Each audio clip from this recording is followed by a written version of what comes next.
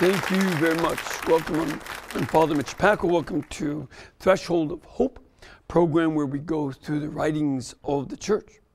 And today we are continuing through the great uh, doc, uh, encyclical Fides et Ratio. Now, this is by Blessed John Paul II. and you can get a paperback edition of it by going to EWTN's religious catalog. Uh, it's just EWTNreligiouscatalog.com, or you can call them up 1 800 854 6316. And if you would prefer, you can get a free electronic copy of Fides et Ratio over at our document library. Go to EWTN.com click the Faith tab. You'll see libraries. Go to Document Library, type in Fides et Ratio, and it'll come up, and you can highlight it and download it into your computer the way I did. Now, of course, we want you to get involved and participate in our show. One, you can do like these nice folks have done, just to come here to Birmingham, Alabama. Uh, another, you can send us a question by writing to Threshold at EWTN.com, or you can call us during our live broadcast, which is Tuesday at 2 p.m. Eastern Time. And the phone number here is 1 800 221 9460. Or you can also call 205 271 2980. All right. Now, we've begun chapter four of this document, which is entitled The Relationship Between Faith and Reason. And the Pope already laid out in paragraph 37 that he wants to go through some of the history of the relationship between faith and reason in the history of the church. And paragraph 38 begins that Christianity's engagement with philosophy was neither straightforward nor immediate. The, the, Jewish apostles wouldn't know any philosophy as we know it. They, they maybe, uh, as a matter of fact, probably Andrew and maybe Philip knew Greek, at least to speak. But as fishermen, they didn't have a lot of time to study. The only one in the early church who seems to have known some philosophy was St. Paul, who grew up in Tarsus, born in Tarsus and partly raised in Jerusalem. Tarsus was a famous uh, place for scholarship, uh, sort of a college town. And he shows when he goes to Athens that he's aware of some Greek philosophy. But the other apostles were not, and it didn't come into play much in the early church the practice of philosophy and the attendance at philosophical schools uh, seem more of a disturbance than an opportunity for the first Christians. They had more of an urgency to proclaim the gospel right away rather than go back and study. That wasn't their concern. That's why he says the first and most important task was the proclamation of the risen Lord Jesus Christ and to call people to a personal encounter with Christ so that the listener could have a conversion of heart and then request baptism into Jesus so they could have that union with Him in baptism. That was their main task. And that's very understandable. And we need to be about that too philosophy does not save you. Jesus Christ is our Redeemer. But as we've been saying throughout this whole series, philosophy is a tool. Now, that does not mean that they completely ignored the task of deepening their understanding of faith and its motivations. They did want to go more deeply into what does the faith mean? And why should we be motivated against? Um, and that was quite, quite the opposite was true. Uh, you do have the criticism of Celsus. Celsus was a pagan who wrote a book against the Christians. And he was pretty strongly anti Christian. Uh, we don't have his book, but we do have quotations from his book. From Origen. Origen was a priest originally from Alexandria. Later, he studied at Caesarea Maritima by the sea. And he wrote a book against Celsus. You can still get that at our documents website. It's called Contra Celsum. And in Book 3, Chapter 55, he quotes Celsus, who asserts, and I quote, We see indeed in private houses persons of the most uninstructed and rustic character, not venturing to utter a word in the presence of their elders and wiser masters. But when they get hold of the children privately, and certainly women as ignorant as themselves, they pour forth wonderful statements to the effect that they ought not to give heed to their father and to their teachers but should obey them. That the former are foolish and stupid, and neither know nor can perform anything that is really good. Now, that description of the Christians is not complimentary. and he, thought of them uh, as completely un- uncouth. Now, this was not true. Because in fact, Origen, who answered Celsus, was himself quite educated, not only in Greek and Latin, but also in Hebrew. He probably knew a number more languages and was careful in their use as best he could be with what he had available, much more so than Celsus would have been. Now, of course, Celsus does certainly seem to echo something that the high priests had said when they arrested Peter and John and called them uninstructed and ignorant. Uh, so, so this seems to be a common thing. But um, instead of seeing that they're stupid, that wasn't the reason that they were uninstructed in philosophy. We have to look for another explanation of why they didn't know philosophy that the encounter with the gospel of Jesus Christ offered such a satisfying answer to the unresolved question of the meaning of life that delving into the philosophers seemed to be something remote, and to the early Christians, the philosophers seemed outmoded. See, the philosophers at this time were of three main schools. There were other schools, but you had the Stoics, the Epicureans, and the Neoplatonists. Especially, you see the Neoplatonists in um, uh, Alexandria, while the uh, Stoics and Epicureans were more common in Greece and elsewhere, Rome too. And so um, they, they were trying to figure out, you know, what is that? They're more focusing on questions. And the early Christians said, well, Jesus answers the meaning of life and the meaning of human existence. So we're going to stick with him. That seems, a matter of fact, that reminds me of Mother Angelica's book. You know, uh, uh, answers, not promises. Know, she, you know that, that that was the attitude of the early Christians. And that seems still more evident today if we think of Christianity's contribution to the idea that uh, of the right of everyone to have access of the truth. Christians have been very committed from the earliest days to giving access to the truth to as many people as possible.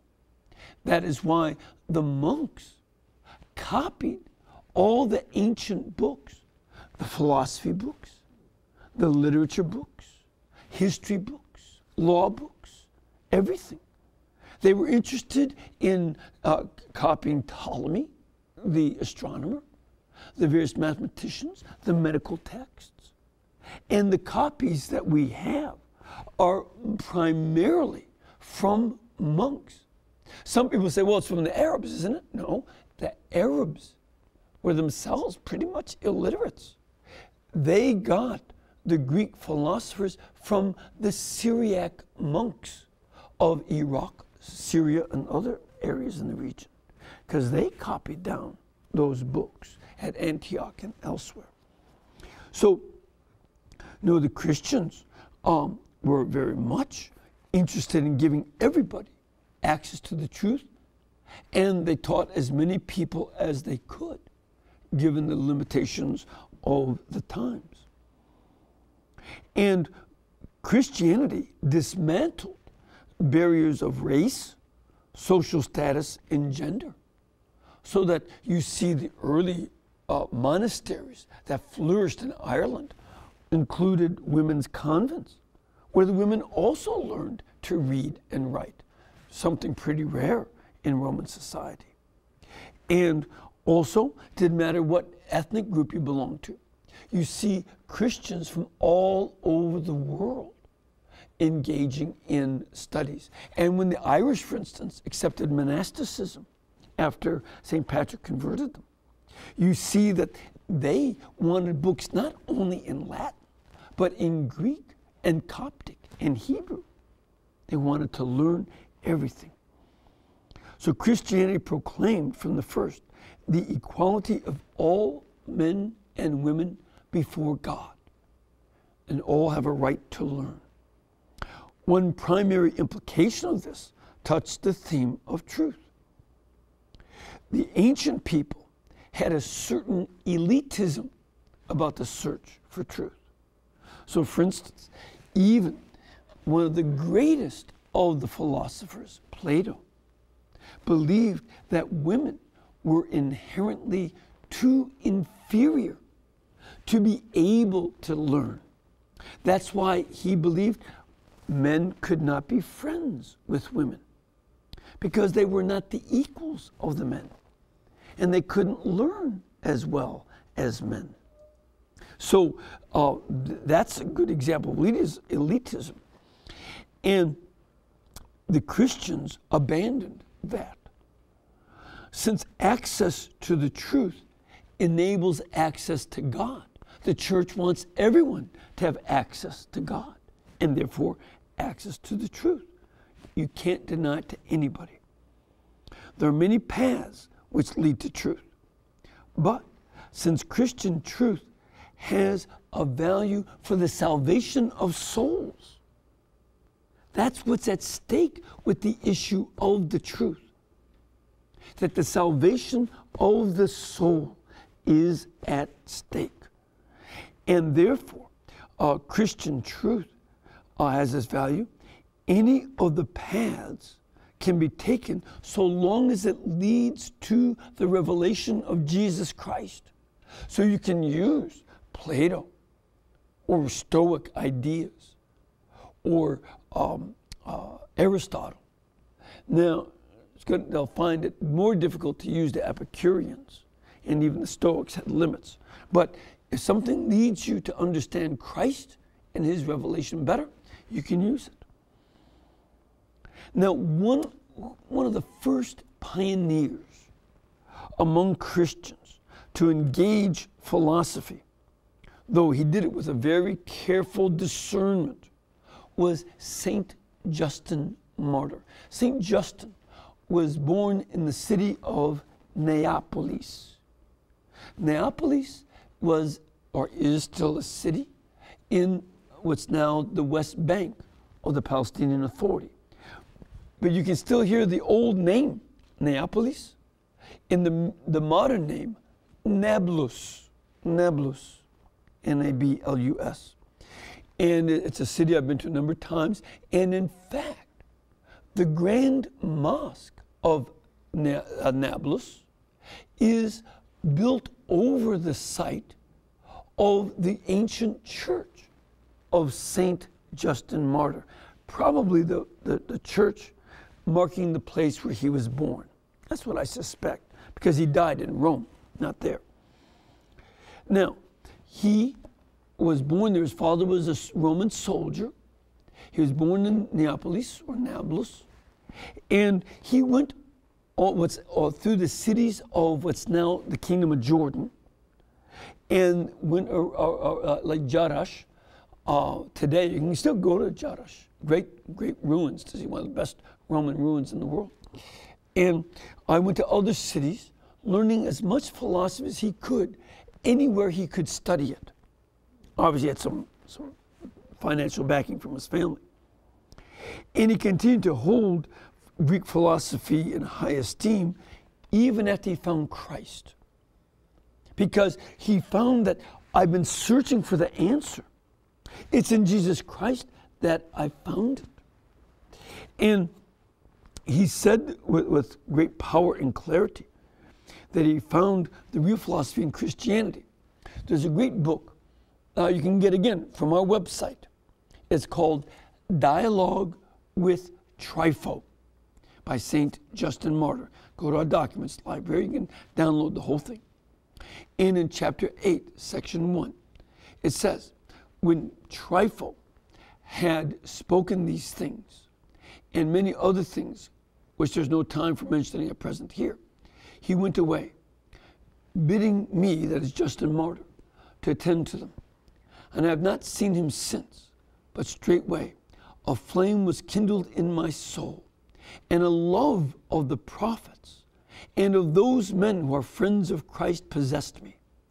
And while revolving his words in my mind, my, in my mind, I found this philosophy, Christianity, alone to be safe and profitable. That was, and, and he talked eh, about uh, Christianity as a philosophy. I really don't think they had yet invented the word theology. So they just called it all philosophy. Similarly, uh, uh, now St. Justin Martyr was writing that, I think, in the 140s AD. By the way, he also is somebody who mentions that he knew personally some elderly women who had been baptized by the apostles. Now, he knew them in the 130s or 140s. And the apostles were dying off by the 60s and 70s. So that's a little small point, but it also indicates that those women had been baptized as infants by the apostles, not as adults. But I digress. Another philosopher, you know, St. Just Martyr was writing in the 140s, about 60 years later, another great saint, St. Clement of Alexandria, wrote uh, a book called the Stromata. And in the Stromata, book one, section 1890 uh, paragraph one, says that the true philosophy has been communicated by the Son, that is Jesus. And so he also understood that philosophy is like the law of Moses. And it's an instruction that prepared for the Christian faith. That was his view of it. And that philosophy, therefore, could be used. And, and he also said uh, in the Stromata, uh, Book 1, uh, chapter 16, that the Hellenic philosophy then, Hellenic means Greek, the Hellenic philosophy then, according to some, apprehended the truth accidentally. In other words, they stumbled on it.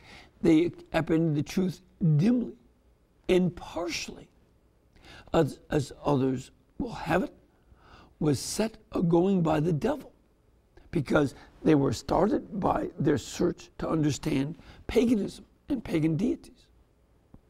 Several people suppose that certain powers descending from heaven inspired the whole of philosophy. But if the Hellenic philosophy comprehends not the whole extent of the truth, and besides is destitute of strength to perform the commandments of the Lord because, you know, they could tell you what something that you ought to do, but knowing what you should do doesn't give you the power to be good.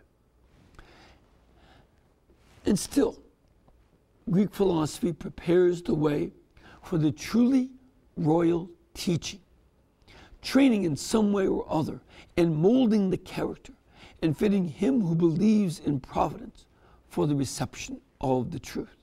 So, in other words, Greek philosophy is a good tool to help prepare you for the truth of Christ. And for Clement, Greek philosophy is not meant to bolster and complete Christian truth. Okay? Rather, the, the task of philosophy is to defend the faith. Again, in the Stromata, uh, uh, book 1, chapter 5. Accordingly, before the advent of the Lord, philosophy was necessary to the Greeks for righteousness.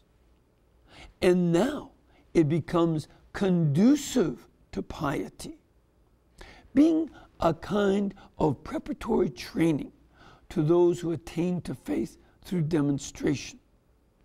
Philosophy, therefore, was a preparation, paving the way for him who is perfected in Christ.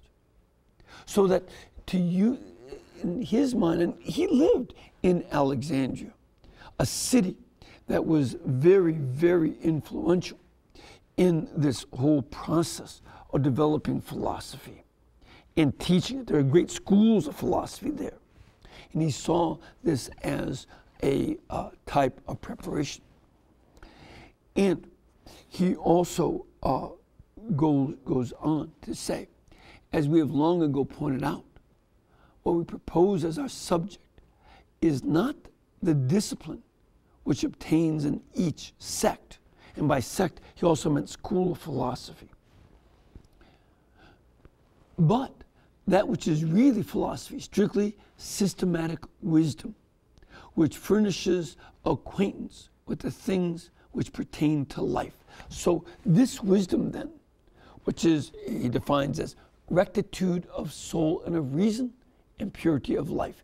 So, rectitude of soul and reason means to think correctly and to have a purity of your life. That, for St. Clement of Alexandria, is the object of the desire of philosophy, which is kindly and lovingly disposed toward wisdom and does everything to attain it. Because wisdom is not the same as knowledge. Knowledge is knowing facts. Wisdom is being able to understand and know how to use the facts of life. That's a big difference. Now it goes on. Now, those are called philosophers among us Christians who love wisdom because wisdom is the creator and teacher of all things. That is, the knowledge of the Son of God. That, for Clement, is true wisdom knowledge of Jesus Christ, the Son of God.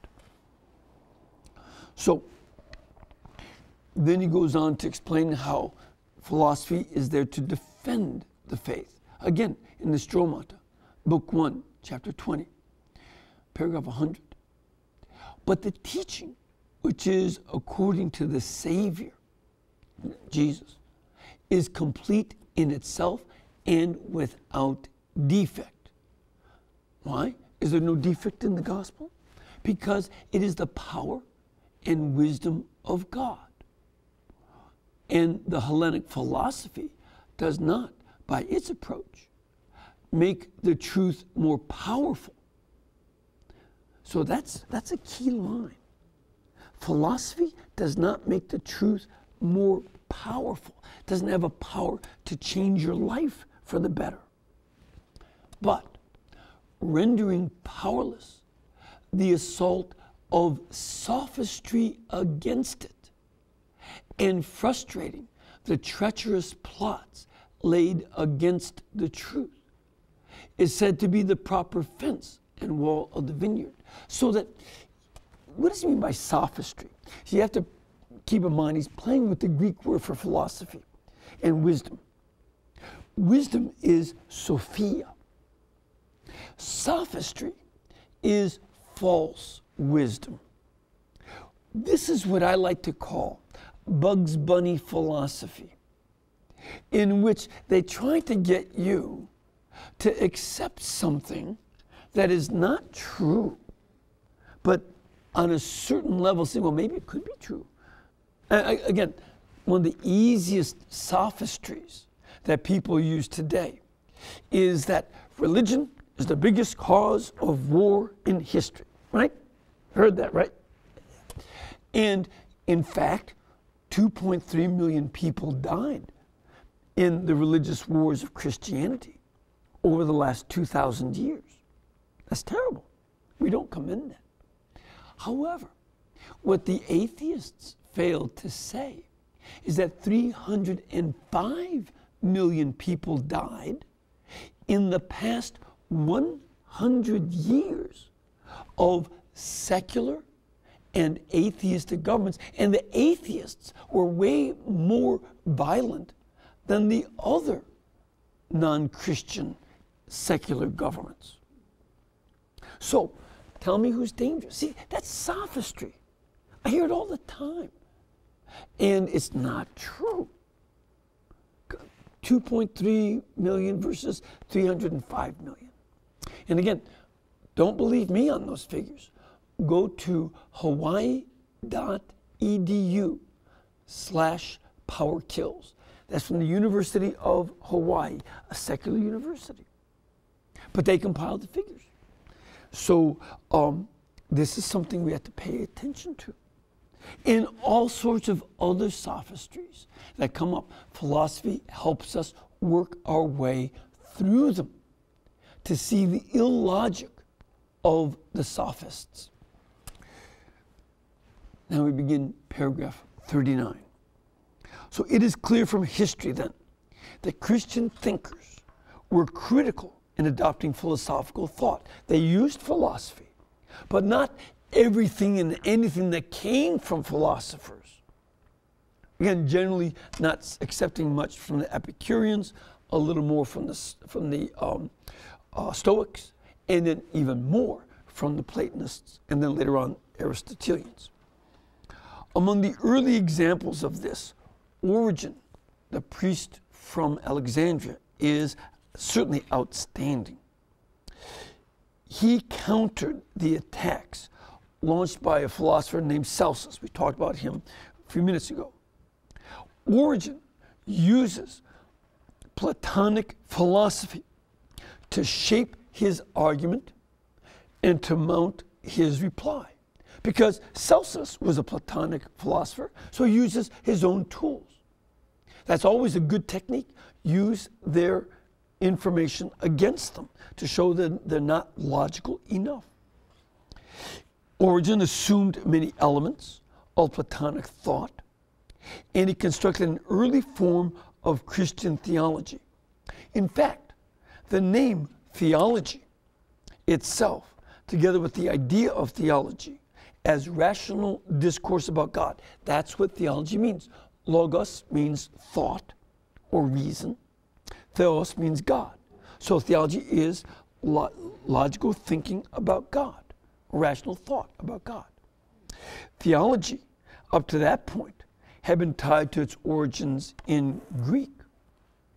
And in Aristotle's philosophy, for example, the name signified the noblest part and true summit of philosophical discourse. That's the height, that's the goal, to think about God rationally, was the high point for Aristotle, who, even though he's writing more than 300 years before Christ, saw that God is the most important topic for any human being to understand and is the high point of philosophy.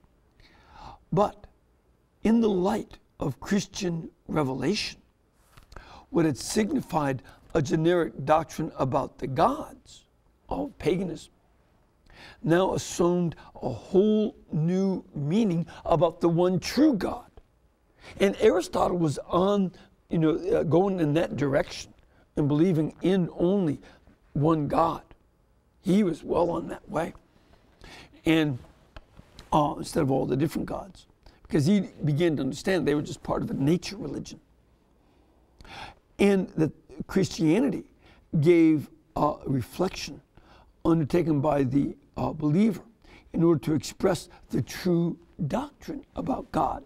That's what philosophy was for. And you could use the tools of philosophy, but theology was to help you know the true doctrine about God. And as theology developed, this new Christian thought made use of philosophy, but at the same time tended to distinguish itself clearly from philosophy. It knew what we're doing about God is using tools from philosophy, but God and revelation and Scripture is the basis. And it's just like you and I distinguish between your toolkit and your automobile. The toolkit exists for the sake of the car. You don't buy a car so you can make your tools useful. That would be silly. So, um, so also here, um, they made use of philosophy and distinguished theology from philosophy.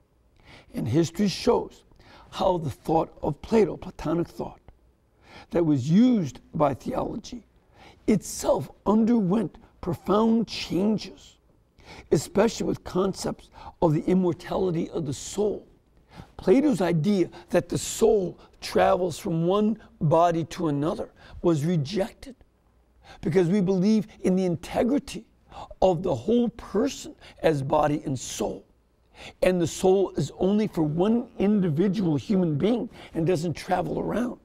So that was a great purification. And also dealt with the divinization of man and differences about the origin of evil because theology could understand the nature of evil better. But we'll be talking more about that in future programs. We need to take a break now, and we'll come back and try to get some of your questions and questions from our studio audience. So please stay with us.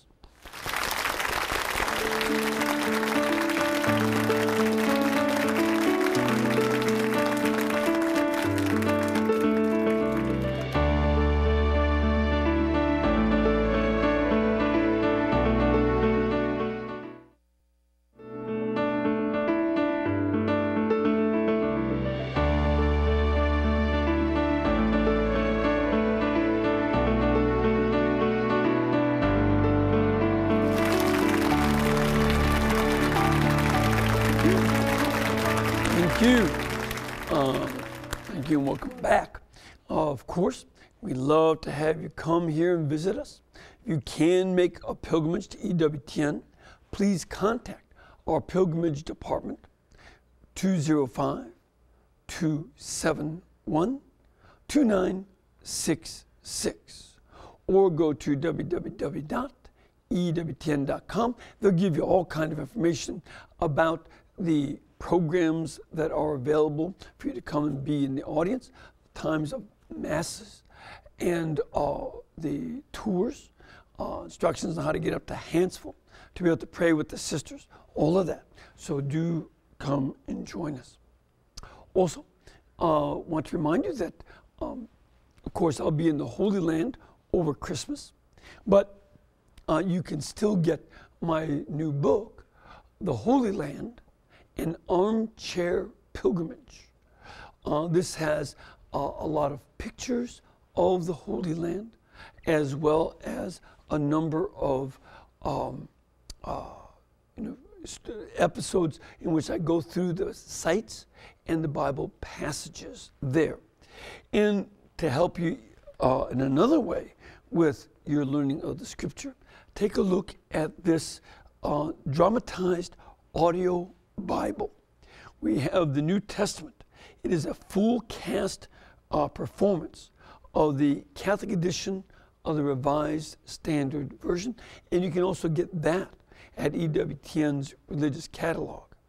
Um, great, great thing to listen to when you're driving and other activities. Um, and you can get both of those by going to EWTNReligiousCatalog.com or call them 1 800 854 6316. And those make some wonderful Christmas uh, presents. All right, we have a caller. Hello, Brett. Brett, are you there? Oh, there he is. Hello. Hey, Brett, where are you calling Yes. from? Um, I'm calling from Missouri, Father Mitch. Great, great. And, And what's your I question? Well, um, this last weekend, uh, Raymond Arroyo had a bishop guest on talking about uh, the Pope's new encyclical, and he mentioned that it was a programmatic document. And up until that moment, I thought I understood papal documents.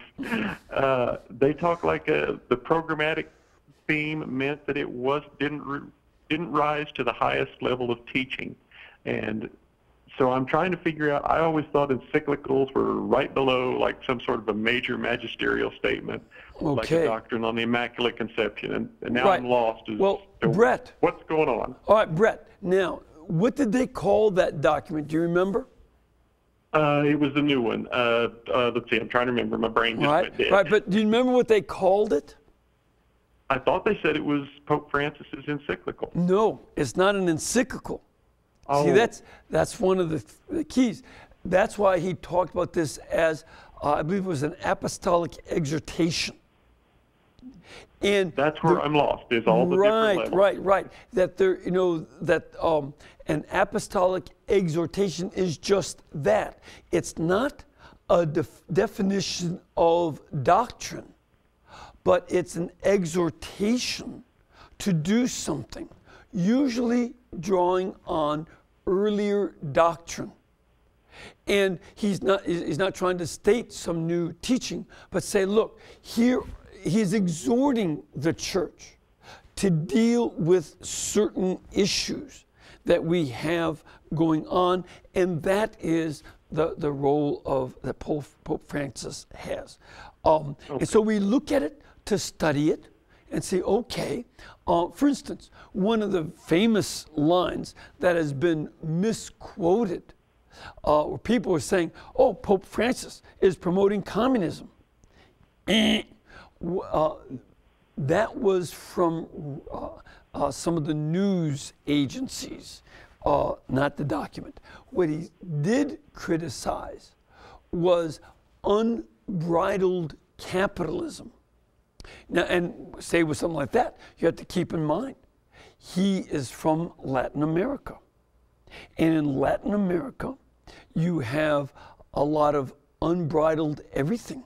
Uh, you know, uh, I, I, I don't know Argentina very well, but certainly when I was in Peru in the 70s, uh, there had been a reputation of big corporations from other countries coming into Peru, being able to bribe various officials, and that bribery was part of the budget for the corporations.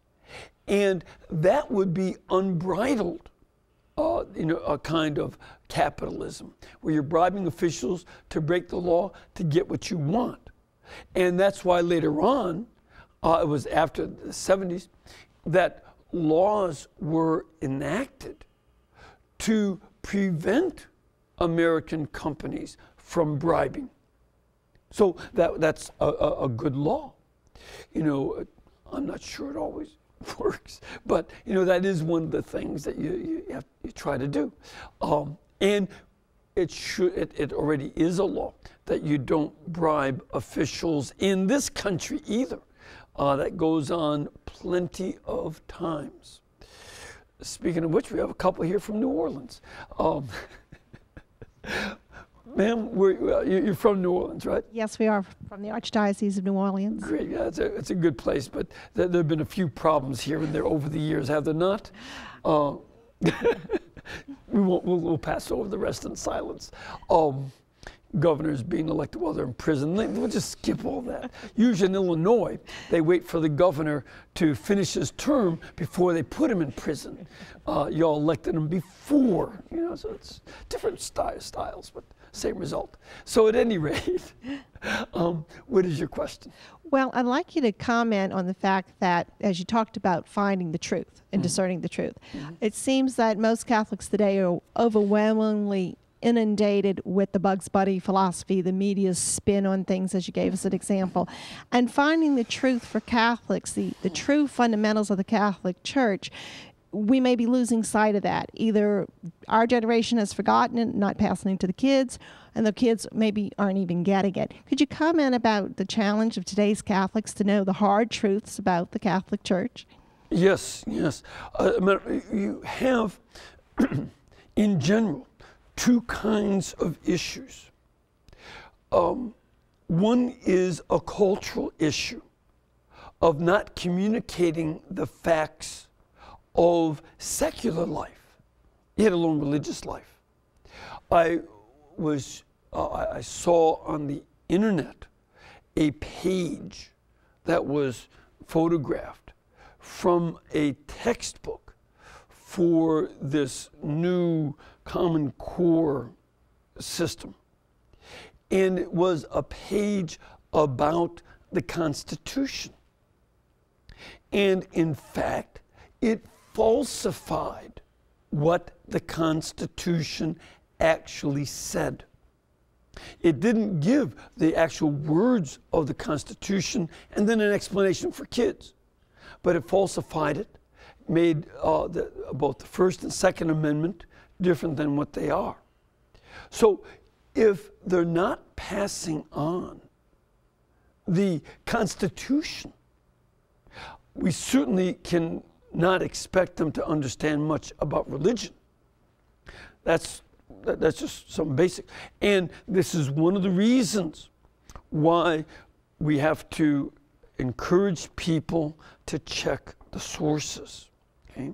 Now, um, Another point you are somewhat younger than I, and unfortunately, depending on where you were in the country, but in general, folks who received catechism from about 1968 and later received a watered down catechism as a generation. So what's uh, there was a theory among the catechetical apparatchiks, the, the, the people who did all that, that kids cannot make an act of faith. Therefore, don't teach them the facts of the faith. Give them a positive experience, make a collage, and have a good time in class. And then later on, they want to stay part of this community. That was the kind of the theory. Does that ring a bell? That sounds a lot like the catechist books that were given. Yeah, but you, you don't have you don't have a microphone, but yeah, she, she basically agreed. Yes, that's exactly right. So here's um, uh, you know one of the tasks that Mother Angelica has had with EWTN is to be a teaching network.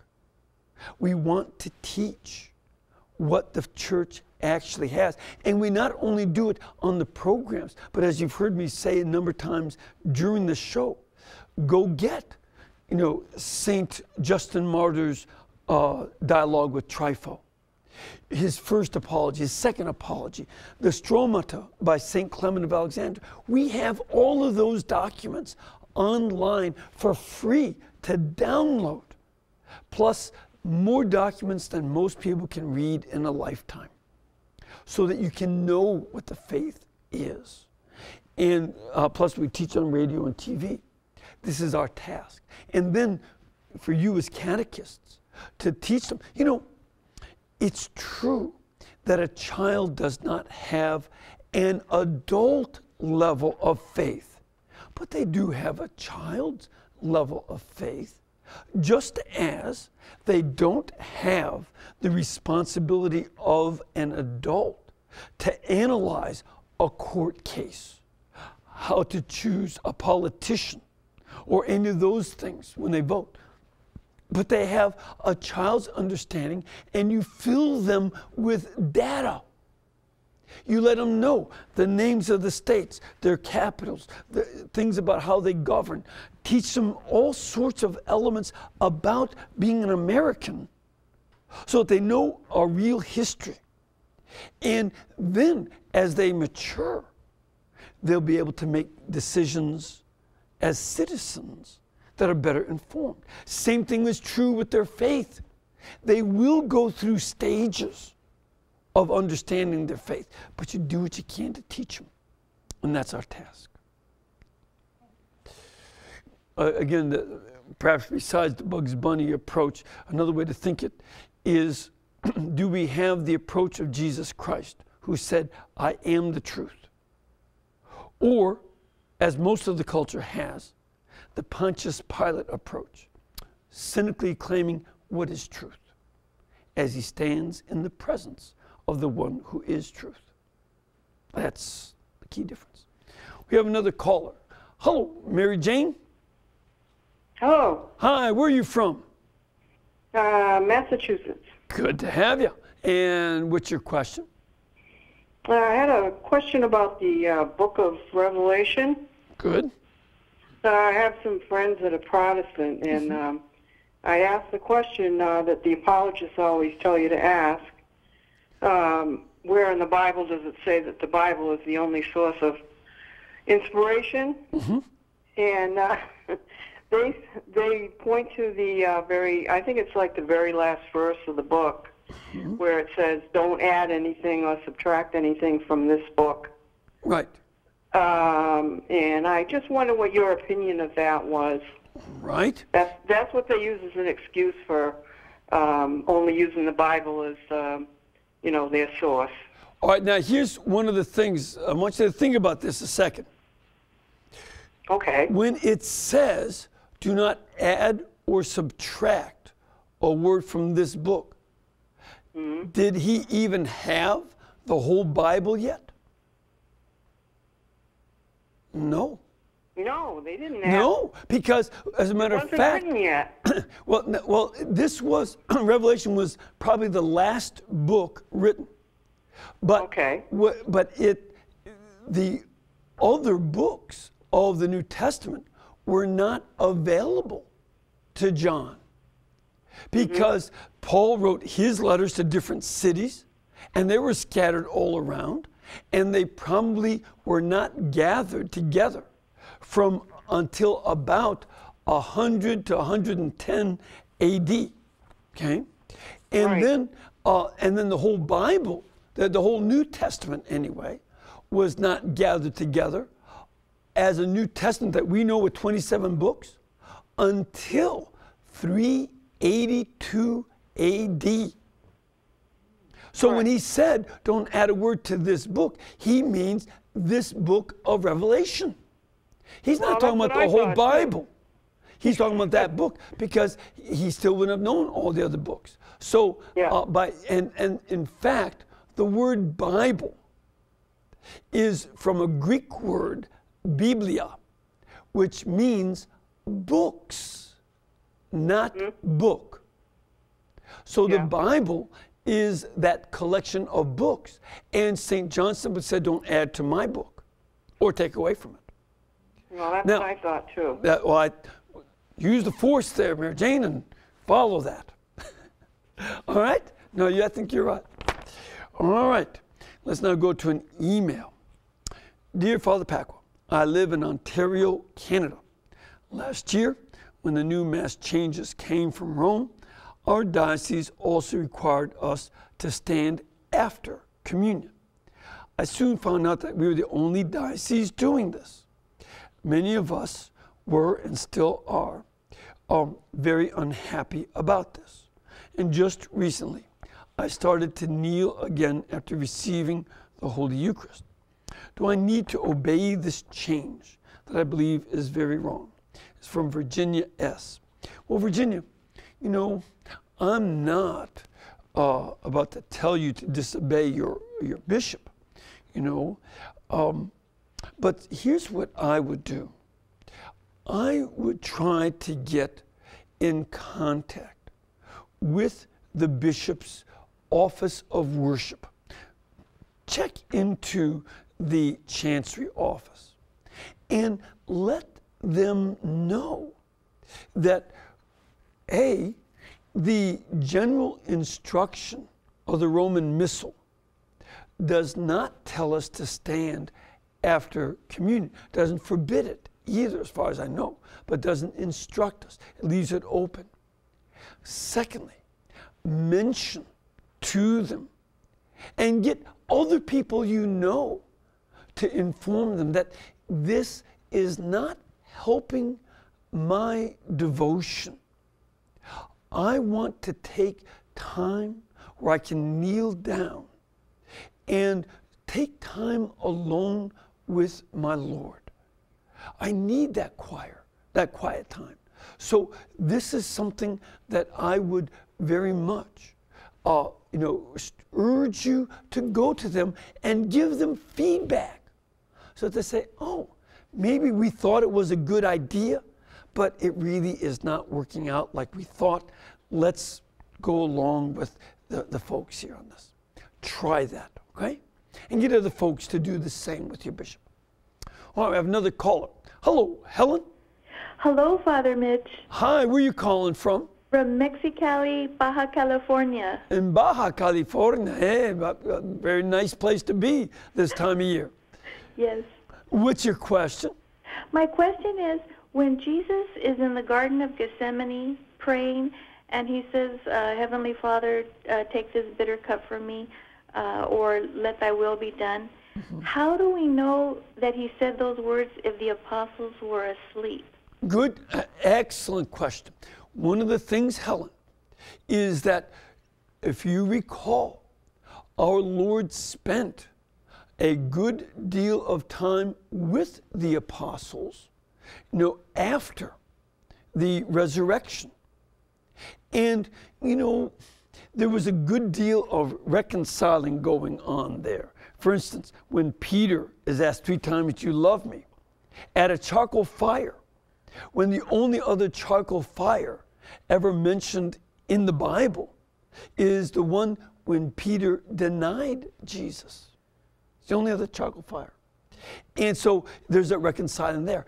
And I have no doubt that the apostles were informed by our Lord about what he was praying when he was in the garden and letting them know while you were asleep, this is my prayer.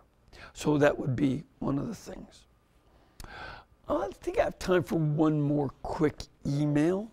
Uh, Father Mitch, did God turn away from Cain's sacrifice because it was not his best fruit given full heartedly, or because it was not a bloody sacrifice of a lamb like that of Abel's? A person in my church says that the magisterium claims that it was because Cain did not share in Abel's sacrifice. However, I don't agree. Can you set us straight, Madeline? Madeline, you both have a problem proving your points. Namely, the text is silent about the reason. You can't say it's your position nor can your friend prove it's your friend's. We just don't know. It just is completely silent. And the, you know, when Cain's face is downcast, says, Why is your face downcast? Do what's right and resist evil, and you will be fine. That's all he had to do.